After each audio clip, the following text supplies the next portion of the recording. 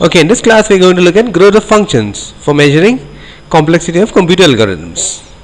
But before we do that, let's look at how computers increase in size. So we start with a Babbage machine and then like a couple of hundred years back, then we had adding machines, mechanical uh, accumulators for accountants from 1930s and then we had a pocket calculator in 1970s and then finally in 1990s we got to the supercomputers this is a cray supercomputer. And in that by 2000 we had the data center with millions of PCs in huge factories. And they all connected by network. And this is how computers have been increasing in capacity. And there's one more increase in the density of computer uh, transistors in a computer. So Gordon Moore of Intel basically speculated that uh, computer the number of transistors in per square inch has been doubling every year since 1970s and then here you can see the memory is the red one is the memory is going up doubling. And now we have like 16 gig memory.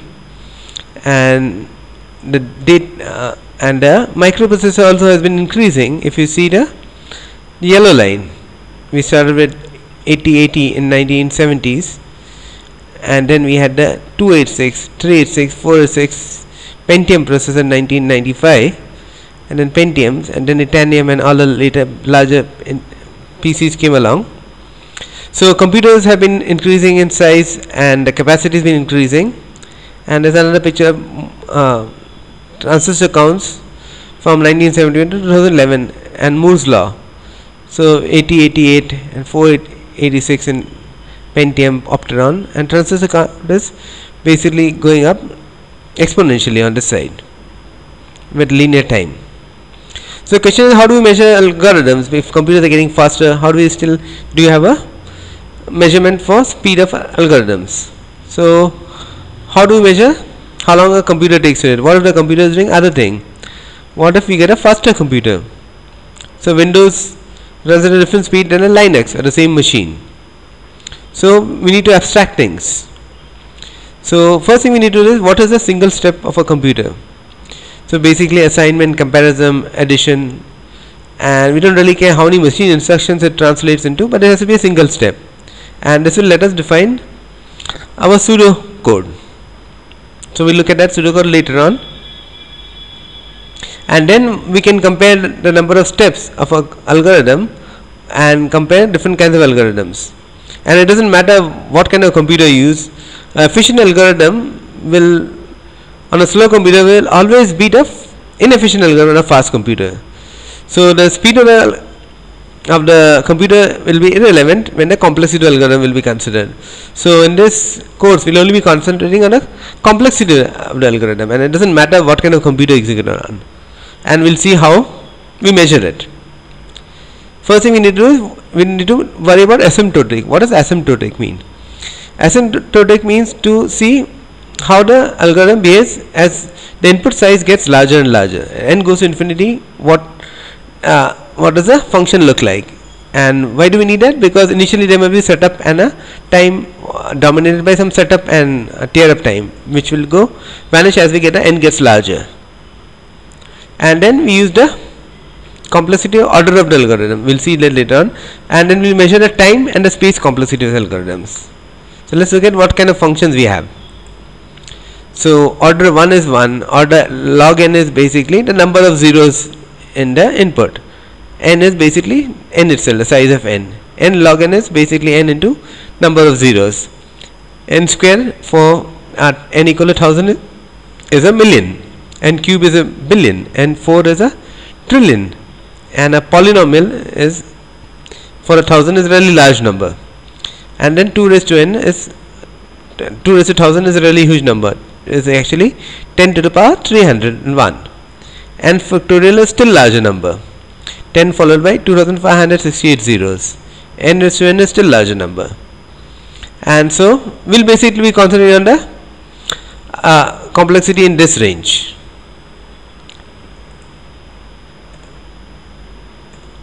so these are called constant time. This is called log time. This is linear algorithms.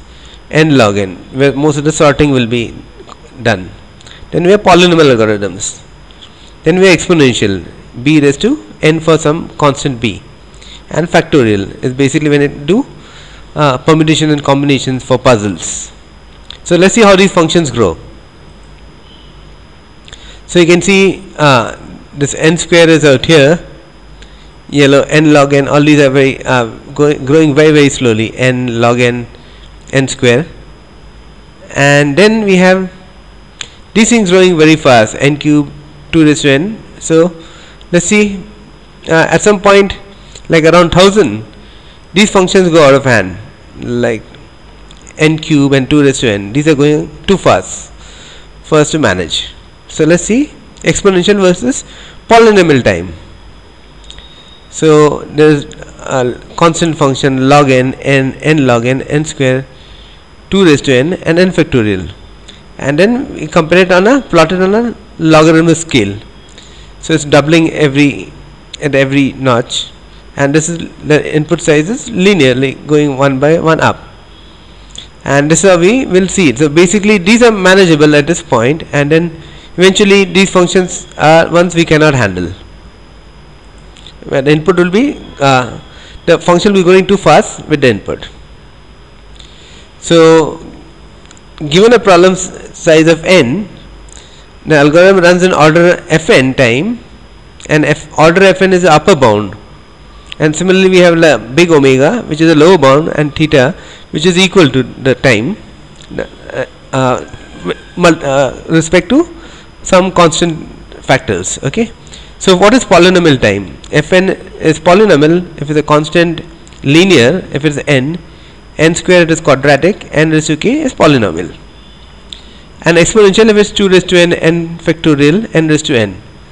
So let's see we plot them n n square n raised to 10 2 raised to n n factorial for n 1 10 100 1000 we can see that these are small numbers we can actually deal with it. But at this point these these functions are basically unmanageable. So for n equal to input if input is size 100 we can actually uh, compute any of these algorithms. They're too large for uh, algorithm to actually finish.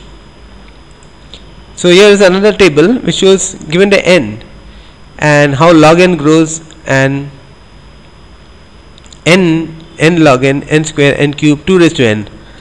So if n is equal to 8 suppose and a computer takes 4 nanosecond uh, uh, log n algorithm takes 4 nanosecond n will take 0.02 microsecond uh, n log n takes 0.06 microsecond and similarly n square takes 0.2 microsecond and 2 raised to n takes 60, 65 microseconds so this is all manageable. But as you increase n and double n like around 128 log n is really fast okay? Log n doesn't grow at all for any of these numbers. N is growing it's all in the computable range. And but at this point you'll see that it, it, uh, 2 raised to n goes into at 128 uh, even at 64 2 raised to n takes 5 centuries. So this is centuries and this takes hours 3 days so n is 65000 and n cube will take 3 days. And this is all computable and this is not computable. Basically when it takes years and centuries. So you can see most of the exponential part is not computable. N cube also polynomial also is hard when n is large. So let's look at some common time complexities. Okay this is taken from wikipedia. Okay so constant time is basically for example uh, if an integer is odd or even you can just look at the last bit to decide it, it is order it takes constant time. You don't even have to look at the whole number. And there's a function called the inverse Ackermann function which we'll look at later which is a slowest growing function after constant time. And it's used for the disjoint set operation in the union find and iterated log we look at another function. For distributed coloring of cycles it also grows log star n. We'll see that later on and log log n. Okay these are really slow functions. Then we'll see faster and faster functions. Log time is basically for binary search. When you do binary search or dictionary search search in the dictionary you can just do it in log n time. Polylog is basically polynomial of the log. And fractional power is also the n uh, square root and stuff. Searching in a KD tree.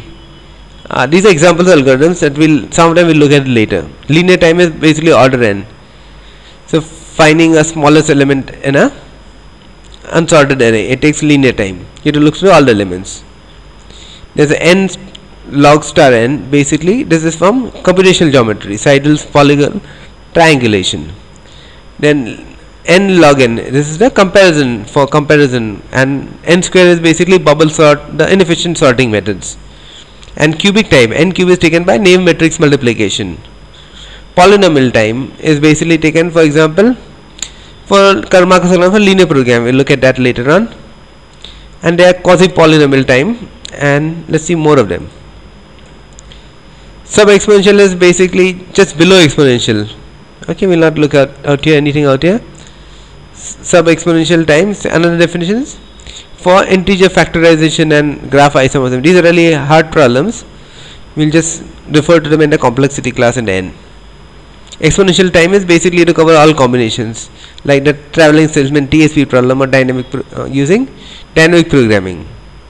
Factorial time and factorial is basically brute force TSP problem takes factorial time. And then double exponential time is also there 2 raised to 2 raised to n. For Presburger arithmetic is a kind of a logic using plus and it takes 2 raised to 2 raised to n. With a very high complexity. Okay we'll not it just we can't solve any problem at that point. So complexity has three measures. One is the average case this is the average case. Then uh, the average number of steps taken for any input of size n. The best case is the fastest you can run. The minimum steps you can do solve it. And worst case is basically the you know, input is really badly behaved how much time maximum number of time you will take. So given any input should the time for size 4 it should take from here to here. Average will take out here worst case it will take so much more time. Best case it will take this much time minimal. Okay? So let's look at an example of a really difficult problem.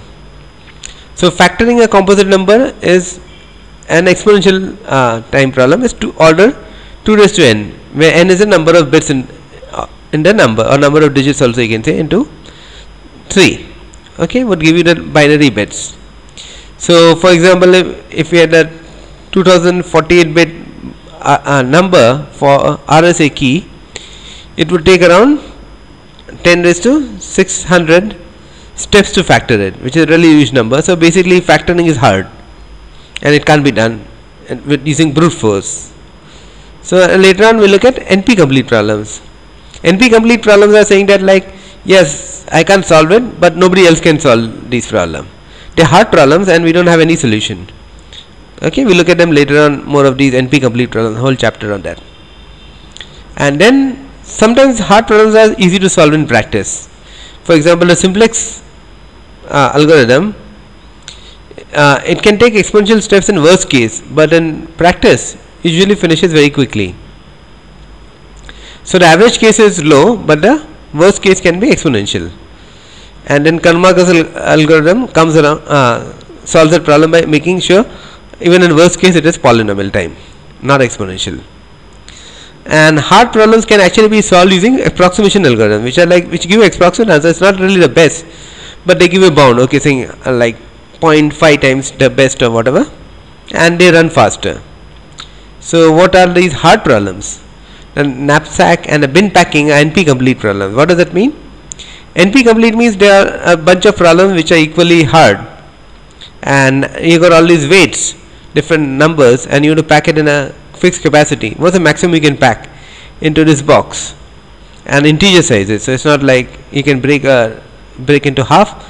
And packing this is really uh, problem of, of you cannot really solve except by brute force. It's called it's one of the NP complete problems we'll look at later on. And what is the use of these things? Let's look at its use. So you have a drill and you want to make a circuit board using a robot like a millions of these boards and you want to move it as quickly as possible. And the only way to do it is to apply the traveling salesman problem. Visit every point and you have to go around quickly and drill holes. So you have to apply the TSP algorithm. Why is it important? Because you'll be doing it a million times the same procedure. So if you can find a good way of moving around here you can save time if you're doing it every day. Same thing here the circuit board circuit board soldering robot. It has a solder all these points and as you move on and moving takes a lot of time. So if you can do it efficiently the algorithm has to run once so maybe you spend more time uh, finding optimal route and then you can use it forever. Same thing for airline routing or railway routing. Once you find an optimal route you can run it really fast. You can run it forever. So what is beyond uh, polynomial? So polynomial is basically any expression n raised to c where c is a constant and that's called a polynomial time function. So lot lots of algorithms we see will be polynom polynomial time algorithms and they run and we can actually run them quickly. And exponentials are non-polynomial. They, they basically 2 raised to n, n factorial, n raised to n. These are really hard. And beyond that is elementary functions. Any combination of n plus, multiply, divide, exponential, log, n factorial. These are elementary. And then non-elementary functions like Ackermann and Busy Beaver. They grow really fast and we'll see example of it. They use in theory but not in practice we'll not see them. So let's look at Ackermann function. It's very simple to define. Ackermann of 0 n is n plus 1 Ackermann, mn is basically Ackermann of m minus 1 1 so you take out 1 from here and then computer recursively call Ackermann again. And Ackermann of mn is basically m minus 1 Ackermann of m n minus 1 so basically double recursion out here. This is a Haskell code. So let's see how m is here and n is here how it grows.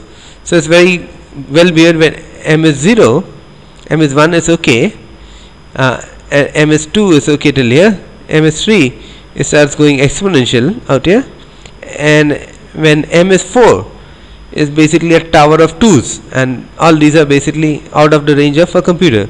So you can see it grows very fast for m. M is the basically how many times is it iterated. So let's see so and uh, an inverse of that would be the the slowest growing function. It's not exactly the inverse, but it's as slow as Ackermann fast. And uh, union find algorithm that we look at later is order m into uh, alpha n plus n, where n is the number of elements in the set for union find, m is the total number of unions and find operations performed. So basically it, it, grows very very slowly and here is the, the inverse Ackermann function is basically growing very slowly. It grows like log n log n and then for alpha 1 2 3 4 and then as n is growing you can see how it's growing slowly. We won't be actually computing much of it but it's still giving a idea of how slow a function can grow. Okay so after now that we know this you need to install some software to actually be able to run the algorithms that will be write code for it later on. So at this point you should install the following software. You should need, for windows you need to install G Cygwin with gcc or g++ and x windows and it works the default. And then you need code blocks. It is a basically GUI for GCC and G++ and Python 2.7 you can also install a later python but then the code that we have out here is developed for python 2.7 and then for java we'll use openjdk. It's the free version of java jdk without the the the, servers and uh, IE hookups into for Windows from Oracle Java. And Linux you probably just need to install code blocks. Everything else should be on your machine. So let's say what are the characters of each language. For this is a joke but python is basically you, you just import a library. In java you have two pages of like code and still you have no idea what it's saying okay? And C++ basically you have like 400 copies of the same object. And Unix shell basically you are stuck with permissions and stuff like that. Assembly we'll look at that later. C LaTeX HTML you can look at all these things jokes is from somewhere in the web. It's a basically the characteristic of different languages but we'll mostly concentrating on C Java Python C++ LaTeX will need for writing your papers. HTML maybe for JavaScript. Assembly won't be using. Unix shell will need all the time for moving things around or editing code. So homework could be write the Ackermann function and C, Python and Java. And then print it from 0 to 3 m and n equal to 0 to 4 also if your code compiles that's not enough it should actually work properly okay? And just because in college doesn't mean that you're done when your code compiles okay? That's a joke. And here are the solutions okay? For python and c and java. But you probably can write it. It's probably straightforward recursion so the question we have which, which is higher complexity? n factorial or e raised to n? N n log n or n raised to 1.5 that's n into square root of n. And then third one is log n or square root of n. And then we have is n log n or order n? N log n or log n raised to square? You need to understand these to decide to understand complexity better and we'll look at more of log n and n in the next chapter. Answers are here. N factorial is uh, faster than e raised to x. And in this case it is n into n into square root of n. So this is faster. Square root of n is bigger than log n. And n log n is bigger than n. And n log n is bigger than uh, log n into log n. And the answers are basically you can find them on google or wherever at this place. Log n is less than square root of x for log is less than square root of x for large x. And order of log n is same as order of square root of n. Okay? So that's about it for now